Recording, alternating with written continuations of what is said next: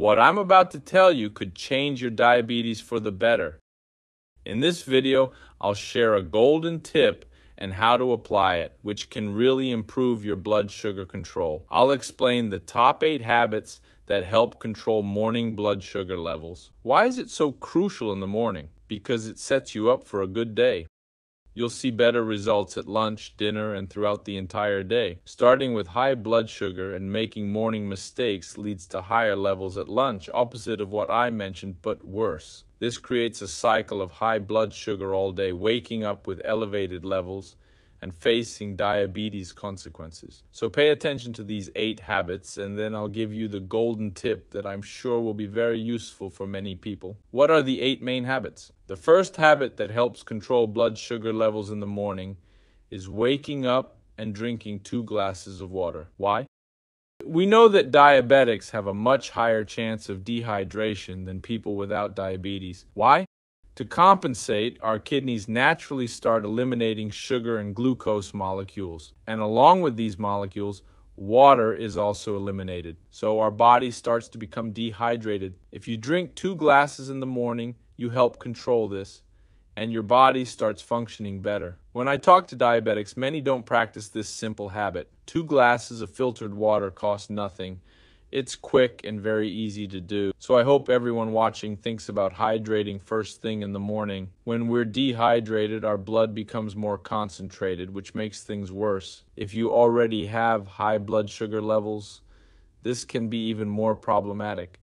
Hydration is a simple, practical way to gain better control of your blood sugar. Another reason is that when we're dehydrated, our brain often confuses thirst with hunger. Did you know that? So you might eat more, which can worsen your blood sugar control. You'll consume more calories, often more carbohydrates. It's another reason to control your blood sugar levels early in the morning. Hydration is crucial. You can't go wrong with this one. Number two, another simple cost free morning habit that helps you, which is waking up at the same time, even on days off. For example, even on weekends or holidays because this helps your body understand what time of day it is and which hormones it needs to produce. So have a fixed wake up time.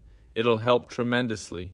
People without routines or set schedules have scientifically proven worse blood sugar levels. It's crucial to have a fixed wake up time to signal your body and hormonal system about the time of day. Because cortisol levels, and not just cortisol, but also growth hormone, which older adults have too, isn't exclusive to children, as we produce growth hormone throughout our entire lives. Glucagon, another hormone that raises blood sugar, is higher in the morning, as is adrenaline, which also increases blood sugar. These hormones need to be regulated for you to maintain ideal blood sugar levels. A routine is crucial for managing diabetes. Ever felt confused waking up with high blood sugar? Even after not eating. You went to bed with good levels but woke up with higher ones. This is due to natural hormonal production that occurs physiologically. In type 2 diabetes, we know the root cause is insulin resistance. A non diabetic's body can compensate for this normal hormonal increase. This contributes to higher blood sugar and our liver can produce sugar too. The liver has this function of producing sugar. So even if you haven't eaten, now you know. Having a routine can greatly improve your blood sugar control throughout the day. The third habit to control morning blood sugar is adding fiber to your meal, which is simple. As you can see, even the third habit is extremely easy to implement. Add things like chia or flaxseed. I'm not talking about large amounts.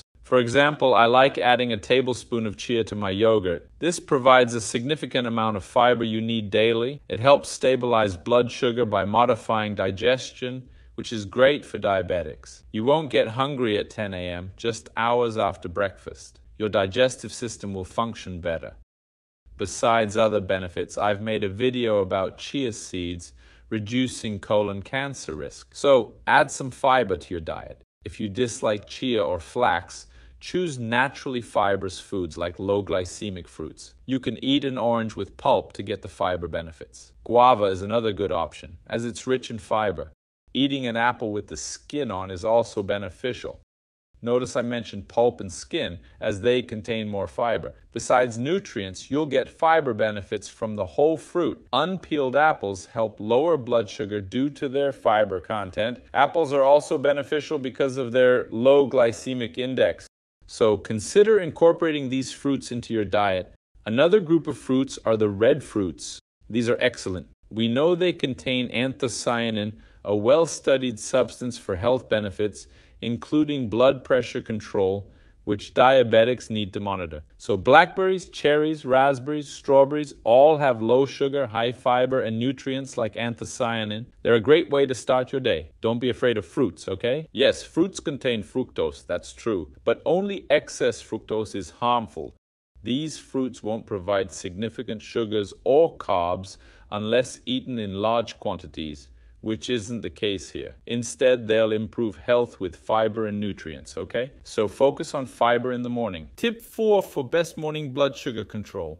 Watch what you eat before bed. Avoid saturated fats at supper, like bacon, fatty foods, butter, or pork drippings. Eat lighter to prevent a sugar spike when you wake up. What's the issue with fats, especially saturated fats? in your last meal. They don't spike blood sugar immediately after eating like sugars do, but due to slower digestion, they keep blood sugar elevated longer, which can be problematic. For those with metabolic issues, as we've seen, it can lead to worse control of blood sugar levels. This can result in poor control. Consequently, blood sugar levels may remain elevated throughout the day. So be careful with your last meal Avoid saturated fats. Number five, do some physical activity, move in the morning. And why is this important? I'm not talking about intense workouts for busy people, as many will relate, myself included. When I wake up, I can't hit the gym or go for a run, but I'm referring to any body movement. This could be a home workout, even yoga helps you move, or climbing stairs, a quick walk around the block, just five 10 minutes, even less, will help you better control your blood sugar levels. Often I just go up one floor and back. That's it. But it helps me wake up and feel more alert. The sixth habit that helps control blood sugar is preparing your meals for the day and taking them with you when you leave home. This is crucial. For instance, if you work outside, you might eat at restaurants or near your workplace where you can't control the ingredients. Often, these are fatty foods that aren't the best choice for diabetics. Taking your own meals helps control and prevents you from eating sugary foods. When I go to work, I always bring an apple. Another quick tip grab a healthy snack to take along besides planning your meals. This takes more time but it's better to invest in your health than face diabetes complications. The seventh habit for better morning blood sugar levels is watching your intake of simple carbs or sugars. If you're diabetic and start with a sugar overload, you'll lose control of your blood glucose levels. Be careful with bread, cakes, pies, chocolate milk, and even natural juices like grape or orange and sugary cereals. These aren't forbidden foods, but watch the amount. Avoiding them in the morning is a good strategy for better control. The eighth habit that'll help you, which is also very simple to do, is adding something relaxing that will lower your cortisol levels, helping with this control. You've seen cortisol's importance, but try calming music or even five minutes of meditation. What's the tip I mentioned earlier that can really impact blood sugar control? There's a rarely discussed issue online that as an endocrinologist, I'll share with you. Many wake up with high blood sugar levels. What's considered high? Let's explain that here. For non-diabetics, levels over 100 mg slash DL or 5.6 mmol slash L are high in many countries. For diabetics, we aim for values up to 130 mg slash DL or 7.2 mmol slash l Many wake up with higher values due to unnoticed nighttime hypoglycemia. So the tip I'll share with you is if you're following all these habits, the doctor adjusts your meds and you end up taking more and more. So check your levels in the early hours, around 3 or 4 a.m. mid-sleep. Take readings with your glucometer because many people experience dawn hypoglycemia and to combat this low blood sugar, our body increases those hormones I mentioned even more glucagon, growth hormone, and cortisol. So you wake up with much higher levels due to very low levels during the night, and these lows won't always wake you up. You might not always feel the usual hypo symptoms,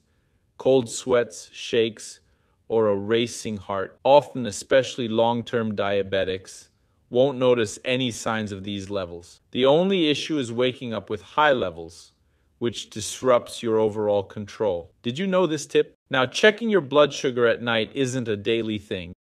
You don't need to wake up every night, okay? It's just an occasional check to note down and show your doctor to ensure it's not dropping too low. Have you experienced nighttime hypoglycemia before?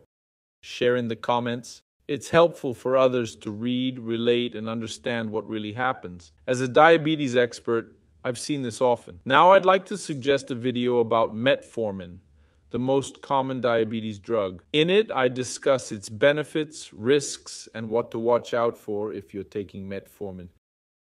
Click here to watch the video and access this important information. Take care. See you next time.